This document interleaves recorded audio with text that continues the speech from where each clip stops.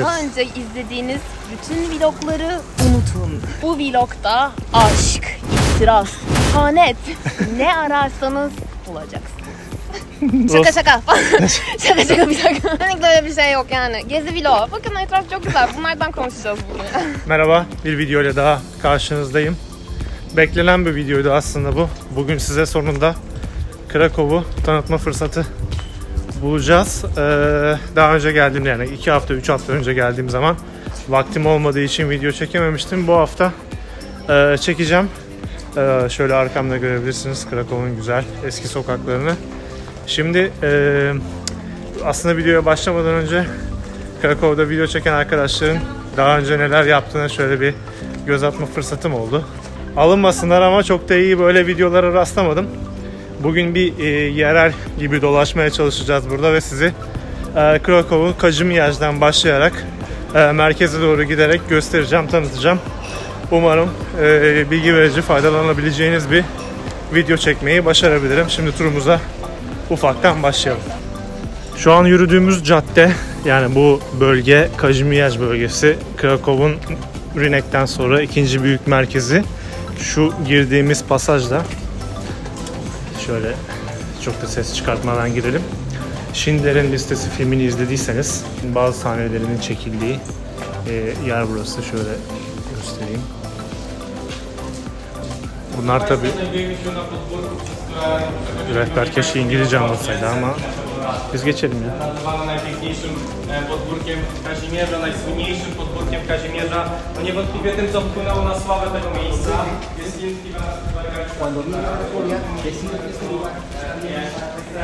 Pierwsza z nich to ta, Evet getto. Filmde getto diye geçiyor burası. Eğer hatırlarsanız. Bunlar hep işte Yahudilerin o yaşadığı e, evler. Şöyle şöyle de bir göstereyim.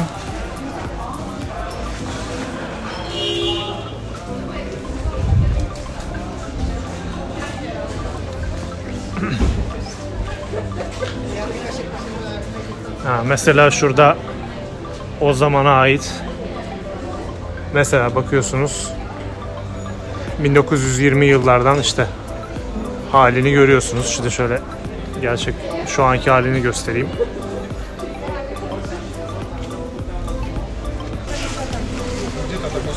Şurada bir tane daha var.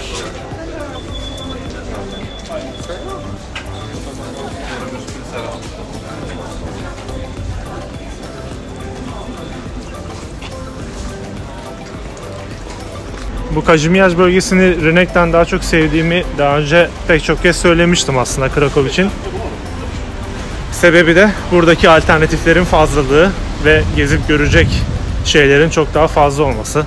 Yani buranın Rynek'i biraz böyle turistik ve e, biraz turistleri yolmaya yönelik e, bir politika izliyor ama Kazimierz bölgesi öyle değil. O yüzden gelip burada rahatlıkla hem etrafı görüp hem de yiyip içebilirsiniz.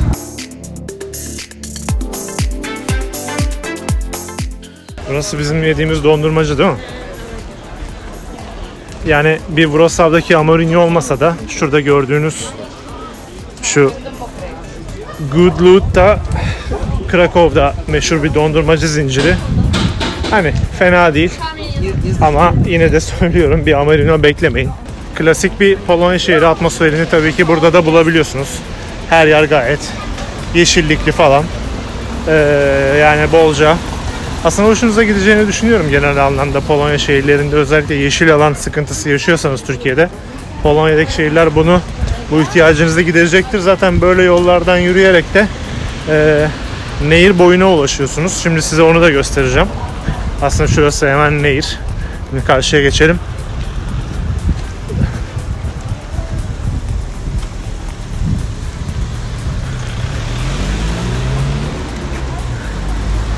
İşte gördüğünüz gibi Wrocław'dan farkı ne derseniz burada Krakow'da bir büyük nehir kolu var. T işte oradan başlıyor. Şu sağ tarafıma doğru dümdüz yürürsek e, bayağı uzun bir şekilde tek bir nehir kolu var. Büyük. E, zaten bu yoldan dümdüz gittiğiniz zaman da um, kaleye düşüyorlar da. şu kaleye ulaşıyorsunuz bu yoldan dümdüz gittiğinde. Zaten biz de şimdi buradan dümdüz yürüyelim. Size de böyle etrafta sağda solda ne varsa e, mesela şu soldaki hoş bir yermiş. Şunu söyleyeyim e, yolun karşısına geçer miyiz bilmiyorum ya daha doğrusu nehrin karşısına geçer miyiz bilmiyorum. Ama bu karşıda gördüğünüz bölge de Kajimyaş ve e, burası da bir yaşam bölgesi. Burada da yaşayabilirsiniz.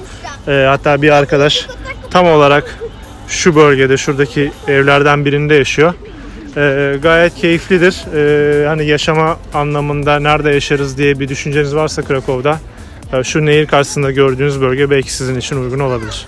Yürüyüş ve bisiklet severler için e, bu nehir boyu yolu hemen nehre sıfır zaten görüyorsunuz Wrocław'da görmediğimiz bir şey bu. Yaklaşık 20 kilometre boyunca yalan olmasın öyle biliyoruz. Bisiklet ve yürüyüş severler için bence bulunmaz bir nimet. Hafta sonunuzu doldurabilir yani. Yanımızda Özge var. Defalarca aslında benim vloglarımda bahsi de geçen. Ee, Kendisine buradan merhaba diyelim. Ee, hikayesi Wrocław'da e, uzun yıllar yaşadı. Bir arada Dubai e, macerası sıkıştırdı. Şimdi de e, çok sevdiği, çok özlediği Polonya'ya geri döndü Dubai'den. Krakow'a yerleşti. Şimdi e, ben bu yorumları yapmıştım. Bir 2-3 önceki videoda Wrocław mı Krakow mu? Ama ikisinde de gerçekten yaşayan birinden dinlemek isterseniz Özge lafı sana bırakıyorum. Ne dersin Wrocław mı Krakow mu? Yani dürüst olmak gerekirse Krakow hakkında daha çok bir şey bilmiyorum açıkçası. Çünkü e, ben Mart ayında taşındım buraya ve Mart'ın 13'ünde karantina başladı. yani yaklaşık bir iki haftalık etrafı gezme gibi bir şansım oldu. O da çok yani hava zaten çok elverişli değildi. Hani e, zaten ben buraya yerleşmeye çalışıyordum, ev arıyordum, işe başlamıştım. O yüzden pek etrafı görememiştim ve işte e, yaklaşık Mayıs'ın sonundan beri sadece dışarı çıkabiliyorum. Ve o arada da e, evim Kazimierz bölgesine çok yakın ve sadece Kazimierz'i gezdim diyebilirim. E, fakat bu açıdan bile hani karşılaştırsam sadece yani şu bilgilerim çerçevesinde bile Canlı bomba gibi geliyorlar yemin ediyorum.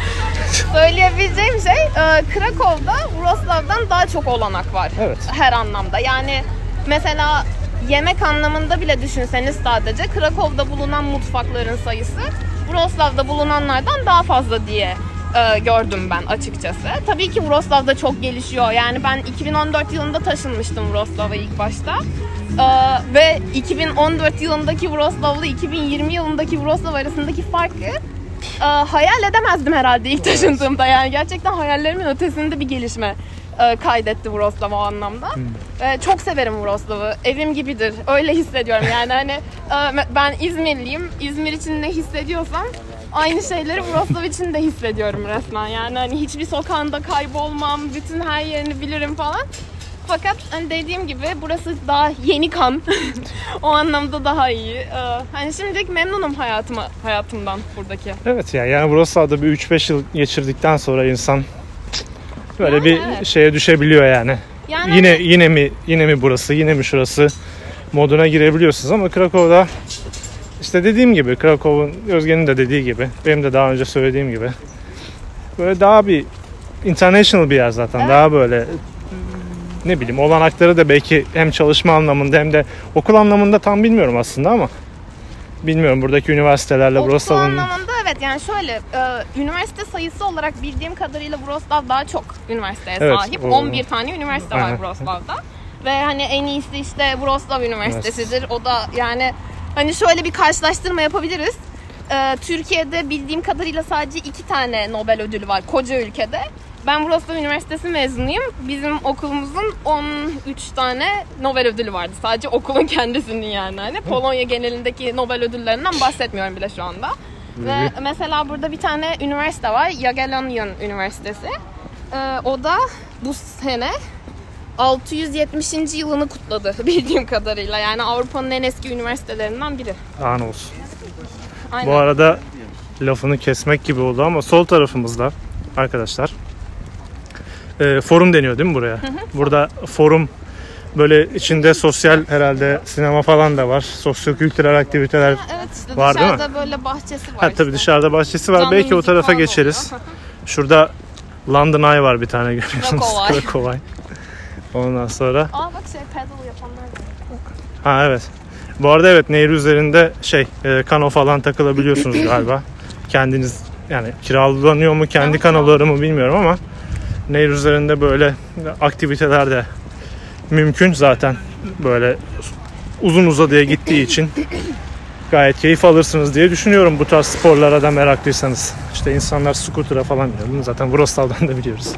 Çok özel bir şey değil.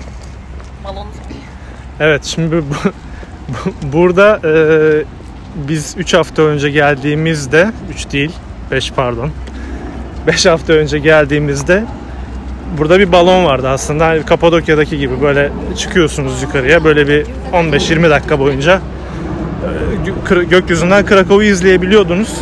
E, biz 5 hafta önce geldiğimizde o balon patladı.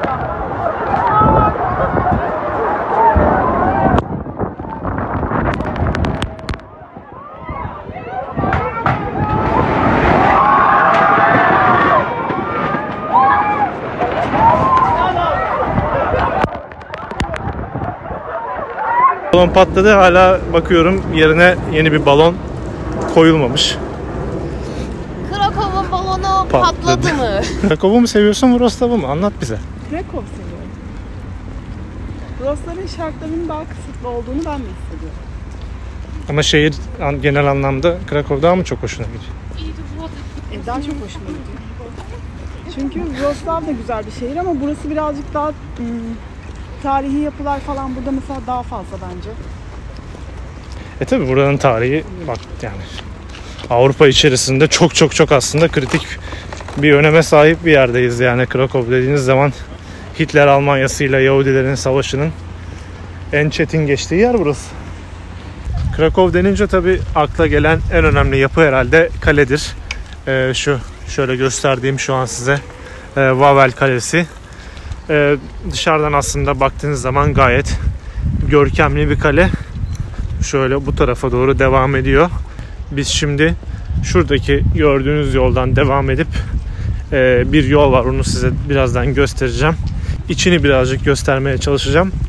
Kaleye giriş e, tabii ki ücretli. Daha doğrusu şöyle kaleye giriş bedava ama e, böyle binalar şurada gördüğünüz mesela e, şuraya falan çıkmak isterseniz ekstra ücret ödüyorsunuz ama ilk kaleye bu şekilde giriş bedava. Ee, çok güzel bir bahçesi var kalenin. Onu size göstermek istiyorum. Ee, çok sevebileceğiniz ve tabii ki baktığınız zaman şöyle çevresinde gayet güzel yapılar. Yine yeşillik içerisinde.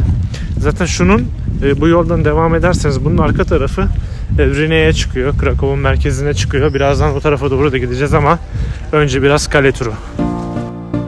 Kale surları içerisinde yukarıya doğru tırmanışımız devam ediyor. Sadece Şurada göstermek istediğim şey işte insanlar buraya geliyor şuradaki köşelerden çok güzel e, manzaraları fotoğraflar çekebilirsiniz. Özellikle hava açıkken ve güzel bir gün batımı sırasında burada kendinize harika e, pozlar, kareler yakalayabilirsiniz. Şu aşağıda da önünden geçmedik ama görebiliyor muyuz bilmiyorum. Evet ucundan görebiliyoruz. Şurada arkadaşlar şu kafasını gördüğümüz şey e, bu kalenin simgesi olan bir ejderha. Özelliği ne derseniz e, belirli dakikalar e, kaç dakikada bir bilmiyorum ama Hayır, e, para atıyorsun. parayla mı oluyordu? Gaz, gazı veriyor. Aynen şey bu ağzından alev çıkaran e, bir ejderhamız var orada. Kalenin simgesi. Hatta bir efsanesi de var. Aynen dungeon'ı var oranın. Şey kalede e, zindan bölgesi var. Oraya girebilirsiniz. Oraya girerseniz işte efsanelere göre o ejderhanın orada yaşadığı falan söyleniyor. Tabii biraz tırt bir şey ama. Ha. Şöyle hemen evet yakalayabildik. Ağzından alev çıkarttı kendisi. Yani çok bir egzantrik bir şey değil ama. öyle çok inanılmaz bir şey değil ama işte belki ilginizi çeker diye söylüyorum. Burayı ele geçirilen geçirenler tarafından tekrardan yapıldığı için herkes kendine göre düzenlemiş. Öyle olunca mimari inanılmaz şekilde çok değişmiş. Herkesten bir şeyler var. Hatta içerisinde ben size söyleyeyim mi oraya girebiliyorsak. Orada biraz Osmanlı bile var yani. Hani o derece. Özellikle şurada bir tane kubbe var. Orayı zaten direkt görüyorsun yani. İçinde işte barok var, işte şeyler var, bu Roman zamanından kalan hala işte e, taşları var. Yani yaklaşık dört tane e, bu hani zamanı görebiliyorsun mimari şeylerini. Hepsi farklı döneme ait ne diyeyim hani sütunları farklı zaten işte sütunların üstündeki işlemeler, renkler zaten işte şuradaki şeyler, mozaikler duruyor hala zaten. Kale turumuz bu şekilde tabii biraz kısa tuttuk. Her yere e, girip göstermek bütün günümüzü alabilir. O kadar bir vaktimiz yok.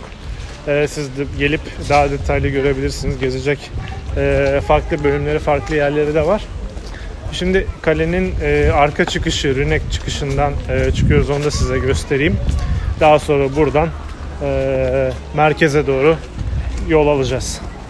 Bu kalabalık Wrocław videolarımdan da tahmin edebileceğiniz gibi Rünek'e doğru gidiyor artık. Herhalde kalabalık bir gün yaşayacağız Rünek'te. Aslında bu kalabalık beni şaşırtmadı desem yalan olur. Hani geçen geldiğimizde böyle bir kalabalıkla karşılaşmamıştık. Bilmiyorum artık neyden kaynaklanıyor. Turistler mi? Çok zannetmesem de. Yani yerli turistler olabilir tabii. Bunlar böyle bir, özellikle bu yıl e, Polonya içerisinde bir yani kuzeyden güneye işte doğudan batıya bir e, yerli turist akımı var. Bu da çok normal aslında yaşadığımız pandemi süreci boyunca. Bakalım şimdi göreceğiz, anlayacağız bu kalabalığın sebebi neymiş. Krakow Meydanı ile ilgili bildiğim en sansasyonel Sansasyonel. sansasyonel bilgiyi aktaracağım. Ama Önce şunu biraz daha söyleyelim. yaklaşalım. Burası iki kısımdan oluşuyor diyelim. Şu ortada gördüğünüz e, içerisinde böyle bizim ufaktan kapalı çarşıya benzeyen böyle incik boncuk satılan bir yer var. E, Sağ tarafta şurada kilisesi var, katedrali var. E, Sol tarafta da işte Brünei'nin ikinci kısmı var. Bütün bu merkez böyle. Burası bu arada Avrupa'nın en büyük meydanı. E, o bilgiyi de vereyim. Bütün bu gördüğünüz meydanın işte çevresini kaplayan bir restoranlar zinciri var. İşte farklı e, ülkelerin farklı mutfaklarından her şeyi burada bulabilirsiniz aslında. Bir Türk mutfağı yok bildiğim kadarıyla. Bu da klasiktir zaten. Türk mutfağı maalesef yok. Ama e, var mı? Burada bir tane Tamam diye bir restoran açıldı. Sadece kahvaltı veriyor Ha, ama. ha, okey. Türk kahvaltısı. Tamam böyle bir bil- bilgiyi de ekstra vermiş olalım. Ama dediğim gibi yani buradaki restoranlar e, pahalı. Yani şimdi bunu saklamaya gerek yok. Neye göre pahalı? Polonya standartlarına göre pahalı. Yani bir Wrocław'la falan, hadi Wrocław'ı da geçtim. Kazimierz'le bile burayı kıyasladığımız zaman fiyatların e, nedenli farklı olduğunu görebilirsiniz. Sansasyonel bilgiye hazır mısınız? Nedir? Yanıma gelin buraya. Evet, Şimdi evet, şuraya doğru bir göstermeni istiyorum. tamam. Aa, Krakow'daki işte bu Rinek Meydanı'nda eskiden e, aklınıza gelebilecek bütün ticaret yapılıyormuş. Yani buna hayvan ticaretleri de dahil özellikle. Çünkü o zamanlar bir de e, ticarette işte atlarla yapıldığı için e, ortada dolaşan pisliği tahmin edebilirsiniz. E, o yüzden de her işte bu ticari zaman geçiminde e, buradaki bütün pisliklerin üstünü kapatıyorlarmış. E, işte toprak atıyorlar. Yani bir şey bir şekilde bunların üstünü dolduruyorlarmış ve e, Krakow'un aslında e, asıl şeyi buymuş yani hani e, nasıl denir yerden yüksekliği. Fakat o kadar doldurulmuş ki şu an günümüzdeki yüksekliğe gelmiş. Altımız pislik dolu mu? E, altımız pislik dolu. evet. Gerçekten sansasyonel. Bu sansasyonel ve pis bilgi için teşekkür ediyoruz. Yani. Ve turumuza Ama şehri ne kadar yükselttiklerine bakar mısınız? Yani yaklaşık 3 metre falan yükselmiş yani. Yani orijinali bu şimdi bizim 3 metre boyunca pislik mi doluyuz? Yani evet işte. Şurada yıl- onu mu anlatıyor acaba? Evet Hayır. aynen. Yok onu, yani işte e- e- eski mesela girişler falan şuralarmış Ha. yani. Evet, şehrin boyu hakikaten birkaç metre atmış yani. Tabi burada da e, son derece şık böyle hazırlanmış, dizayn edilmiş e, faytonlar var. İşte Rünek, çevre, Rünek içerisinde ve çevresinde e, turlar yapabiliyorsunuz ama yani e, şöyle biraz da yakınlaşayım. Yani bir hay, bir hayvansever olarak bunu ne kadar destekliyorum? Bilmiyorum. Çok desteklemiyorum açıkçası. Ha- bu arada atlar da çok güzel. Mesela şunları göstereyim. Böyle dalmaçyalı var. Şu tarafta da şunlar da çok güzelmiş bak. Şurada da böyle siyah beyaz. e, Önde de böyle beyaz atlar var. Görüyorsunuzdur en öndeki faytonda. Rünek'teki bütün restoranları tabi size tek tek gösteremem ama göstermek istediğim bir tanesi var. E, bu Havelka 1876'dan beri burada mevcut. Ee, şöyle hatta vitrininde o zamana ait bir e, fotoğraf da var size göstereyim. Şurada olacak. Görebiliyor musunuz bilmiyorum. 1800'lü yıllardan beri burada mevcut olan bir e, restoran. Güzel de bir restoran ama fiyat aynı şekilde yine pahalı. E, burada da güzel bir Biedronka var bu arada. Şey lüks bir Biedronka'dır burası. Neyse e, bu restoranla alakalı söylemek istediğim şey Rünek'te illaki hani Rünek'te yiyelim restoranımız Rünek olsun diyorsanız e, bu Havelka'yı tercih edebilirsiniz. En azından hani e, insanlar buradan 1800'lü yıllardan beri bir ekmek yiyor. Bizim de bir katkımız olsun. Rünek'ten sonra e, Kajimiyer'e geri döndük aslında. E, çünkü bu tarafın e, gece eğlencelerini, mekanlarını daha çok seviyoruz. Bu arkamda görmüş olduğunuzda Iania, e, Wrocław'da da olan bir mekan burada da var. E, özellikle şatlarıyla çok ünlüdür. Bugün aslında, e, daha doğrusu bu hafta sonu Krakow'da olmamızın başka bir sebebi de e, bir, bizim için bir değişiklik olsun istedik. Bizim 5. tanışma yıl. E, yanımda görmüş olduğunuz sevgili nişanlım Elis'le 5. tanışma yıl dönümümüz. Hani hem burada olalım, arkadaşlarımızla beraber olalım. Bu güzel günde e, bu şekilde e, güzelce kutlayalım istedik. Bu mutluluğumuzu sizle de paylaşmak istedik. Araya da e, kaynatmış olalım.